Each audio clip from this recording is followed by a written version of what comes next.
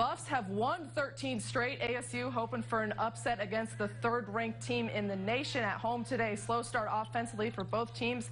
Cam Reedus with the floater to give ASU a 6-0 lead with just under five minutes in. The Rams kept pulling away. Colin Turner fakes, then drains it. Led the team in points with 18, gives ASU a 15-2 lead halfway through. The Buffs just trying to get into their offensive rhythm. John Brown with the 180 spin move floats it over Andres Ibarguen and in 15-6 lead for the Rams. WT went on a 15-1 run to close out the first half, though, to take a 25-21 lead at the break.